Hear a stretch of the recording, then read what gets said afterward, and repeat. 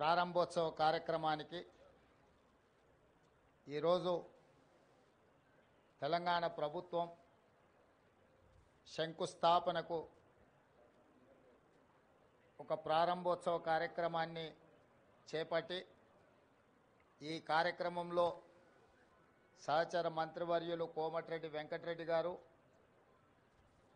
మాజీ పిసిసి అధ్యక్షులు మాజీ రాజ్యసభ సభ్యులు తెలంగాణ రాష్ట్ర ప్రభుత్వ ప్రత్యేక సలహాదారు పెద్దలు కేశవరావు గారు నగర మేయర్ గద్వాల విజయలక్ష్మి గారు రాజ్యసభ సభ్యులు అనిల్ కుమార్ యాదవ్ గారు స్థానిక శాసనసభ్యులు మాజీ మంత్రివర్యులు దానం నాగేందర్ గారు విప్పు బీర్ల ఐలయ్య గారు ఇతర షబీర్ అలీ గారు సోదరుడు జగ్గారెడ్డి గారు ఇతర ముఖ్యమైన నాయకులు అధికారులు ప్రధానంగా చీఫ్ సెక్రటరీ గారు వేద పండితులు పాత్రికేయ మిత్రులు ఈ యొక్క శుభకార్యానికి హాజరయ్యి పది సంవత్సరాల నుంచి నిర్లక్ష్యానికి గురైన తెలంగాణ తల్లి విగ్రహ ప్రతిష్ట ప్రా శంకుస్థాపన కార్యక్రమం ఈరోజు ఈ ప్రభుత్వం తీసుకోవడాన్ని వారందరూ కూడా ఇక్కడికి వచ్చి ఈ ప్రభుత్వం చేపట్టిన కార్యక్రమానికి అండగా నిలబడ్డందుకు మనస్ఫూర్తిగా ధన్యవాదాలు. వాస్తవంగా ఈ కార్యక్రమాన్ని పెద్ద ఎత్తున చేపట్టాలన్న ఆలోచన ప్రభుత్వం చేసినప్పుడు వేద పండితులను సంప్రదిస్తే ఈ రోజు తర్వాత మళ్ళీ దసరా వరకు మంచి రోజులు లేవు. ఈ కార్యక్రమాన్ని ఈరోజు చేపట్టవలసిందిగా వేద పండితులు నిన్న సూచన చేయడం జరిగింది. అందుకే చాలామంది మంత్రివర్యులు ముందస్తుగా నిర్ణయించిన కార్యక్రమాలలో ము ముఖ్యంగా ఉప ముఖ్యమంత్రి గారు కేరళ పర్యటనలో ఉన్నారు. మిగతా మంత్రివర్యులు కూడా ఇతర కార్యక్రమాలలో ముందే వాళ్ళ కార్యక్రమాలు నిర్ధారించడం వల్ల పెద్ద ఎత్తున ఈ కార్యక్రమాన్ని ప్రభుత్వం ఏర్పాటు చేయలేకపోయింది.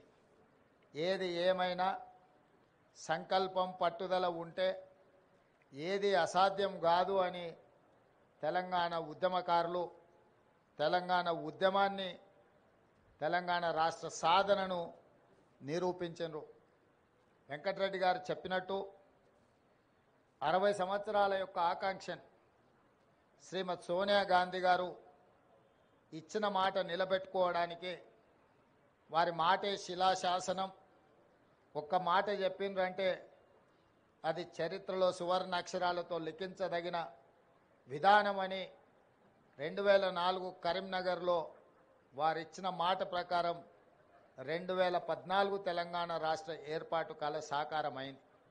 రెండు వేల పద్నాలుగు నుంచి రెండు వేల ఇరవై నాలుగు వరకు దాదాపుగా పది సంవత్సరాలు అధికారంలో ఉన్నవాళ్ళు ఎన్నెన్నో నిర్మించడం ప్రపంచానికే ఆదర్శంగా నిలబడ్డం. చాలా విషయాలు గొప్పలు వాళ్ళు ప్రస్తావించడం జరిగింది. నేను పెద్దగా రాజకీయ విమర్శలకు నేను వెళ్ళదలుచుకోలేదు కానీ పది సంవత్సరాలు పరిపాలన చేపట్టిన వాళ్ళు తెలంగాణ తల్లిని తెరమరుగున పడవేసిండ్రు.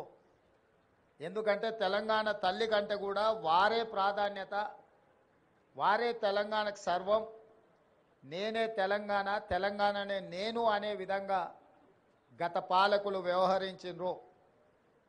ఆ విధానానికి కాంగ్రెస్ పార్టీ ప్రజలెన్నుకున్న ప్రభుత్వం ప్రజాపాలన ఆ పాత విధానాలకు విరుద్ధం. ప్రగతి భవన్ పేరు మీద పెద్ద గడిని నిర్మించుకొని చుట్టూతా ముళ్ళ కంచెలు ఏర్పాటు చేసుకొని వందలాది మంది పోలీసుల పహారల మధ్యలో వారు భద్రంగా అక్కడ ఉండి తెలంగాణ ప్రజలకు ప్రవేశం లేదు అని నిషేధించిన ప్రగతి భవన్ను ప్రజాభవన్గా మార్చి జ్యోతిరావు పూలే భవన్గా ఈరోజు తెలంగాణ ప్రజలు ఏ సమస్యలు ఉన్నా స్వేచ్ఛగా లోపలికి వెళ్ళొచ్చు. అక్కడున్న ప్రజాప్రతినిధులకు అధికారులకు విన్నవించవచ్చు. ఆ సమస్యల్ని పరిష్కరిస్తాము అని చెప్పి గడిగా మారిన ప్రజాభవన్ను ఈరోజు వాళ్ళు ప్రగతి భవన్ పేరు మీద ప్రజలకు దూరం చేస్తే ప్రజాభవన్ పేరు మీద మన ప్రభుత్వం ప్రజలకు అందుబాటులోకి తీసుకొచ్చి దేశానికే ఆదర్శంగా ఈ ప్రభుత్వం నిలబడ్డది. అదేవిధంగా సచివాలయం తెలంగాణ పరిపాలనకు గుండెకాయ తెలంగాణ ప్రజల యొక్క ఆకాంక్షలు నెరవేరాలన్నా తెలంగాణ రాష్ట్ర అభివృద్ధి జరగాలన్నా ఈ సచివాలయం నుంచే విధానపరమైన నిర్ణయాలు జరగాలి ప్రజా ప్రభుత్వం పరిపాలన సాగించాలి మంత్రివర్గ సహచరులు ఇక్కడి నుండే నిర్ణయాలు చేయాలి ప్రజలు వాళ్ళ యొక్క విజ్ఞప్తులను వాళ్ళ యొక్క సమస్యలను తెలియజేయడానికి ముఖ్యంగా మంత్రులు ప్రజలకు అందుబాటులో ఉండాలి. ఇది సచివాలయ విధి విధానాలు. కానీ పది సంవత్సరాలు మంత్రులు కానీ ముఖ్యమంత్రి కానీ ఆనాటి ప్రజాప్రతినిధులు ఎవరు కూడా ప్రజలకు అందుబాటులో లేకపోవడం ప్రజలకు సచివాలయంలోకి ప్రవేశమే నిషేధం జరిగింది. అదేవిధంగా తెలంగాణ తల్లి విగ్రహం పది సంవత్సరాలు వాళ్ళు ఏర్పాటు చేయలేదు.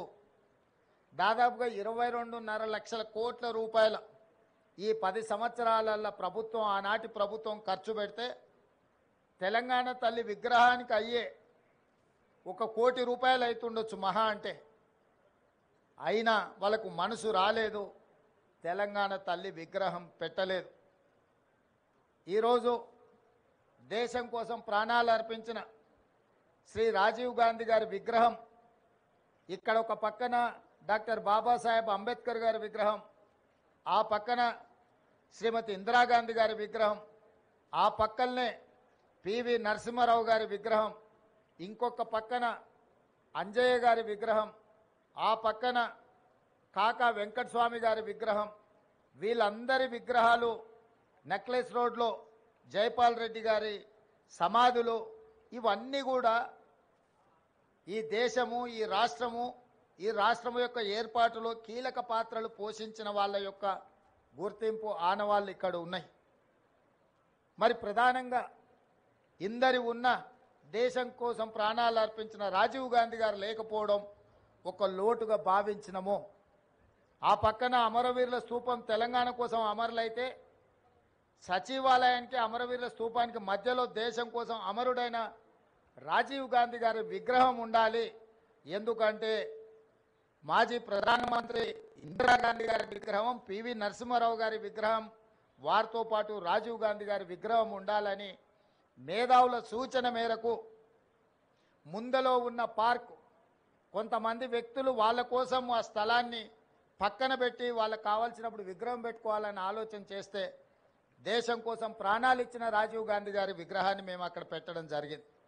రాజీవ్ గాంధీ గారి విగ్రహాన్ని ఏర్పాటు చేయడానికి కూడా వివాదం చేసి దానికి తెలంగాణ తల్లి విగ్రహానికి ముడిపెట్టిండ్రు నేను తెలంగాణ ఉద్యమకారులకు అమరవీరుల కుటుంబాలకు తెలంగాణ మేధావులకు విజ్ఞప్తి చేయదలుచుకున్నా పది సంవత్సరాలు మీరు ముఖ్యమంత్రిగా ప్రభుత్వంలో ఉన్నప్పుడు ఎక్కడే కానీ తెలంగాణ తల్లి విగ్రహాన్ని ఏర్పాటు చేయలేదు. అందుకే ఈరోజు కాదు జూన్ రెండు నాడే నేను చెప్పిన సచివాలయం లోపల తెలంగాణ ప్రజలకు పరిపాలన గుండెకాయ అయిన సచివాలయంలో తెలంగాణ తల్లి విగ్రహ ప్రతిష్టను ఏర్పాటు చేస్తామని జూన్ రెండు నాడు నేను అధికారికంగా ప్రకటించిన. ఈ విగ్రహం యొక్క నమూనాను JNTU fine arts college principal మన తెలంగాణ బిడ్డ వారికి ఈ నమూనాను తెలంగాణ ప్రజలు ఏం కోరుకుంటున్నారు? తెలంగాణ తల్లి అంటే దర్పం ఉండాలి పోరాట పటిమ ఉండాలి భవిష్యత్ తరాలకు స్ఫూర్తిగా ఉండాలి నిజంగా మన కన్న తల్లిని చూస్తే మనకెంత సంతోషాన్ని ఎంత ఆత్మవిశ్వాసాన్ని పెంపొందిస్తుందో ఆ తెలంగాణ తల్లి కూడా ఆ విధంగా తెలంగాణ ప్రజలకు దగ్గరగా ఉండాలి. కొద్దిమంది దొరలకు గడీలలో ఉండే వాళ్ళ యొక్క ఆనవాళ్ళతో తెలంగాణ తల్లి ఉండకూడదని ఒక నిర్దిష్టమైన అభిప్రాయంతో జేఎన్టీ ఫైనాన్స్ కాలేజ్ ప్రిన్సిపాల్ గారికి మేము విజ్ఞప్తి చేయడం జరిగింది. అందుకే ఈరోజు అక్కడో ఇక్కడో ఎక్కడో కాకుండా తెలంగాణ ప్రజల గుండెకాయ అనే సచివాలయంలో తెలంగాణ తల్లి యొక్క విగ్రహాన్ని పెట్టాలి అని ఈ ప్రజాప్రభుత్వం నిర్ణయం తీసుకొని ఈరోజు శంకుస్థాపన కార్యక్రమాన్ని మనం ప్రారంభించుకున్నాము.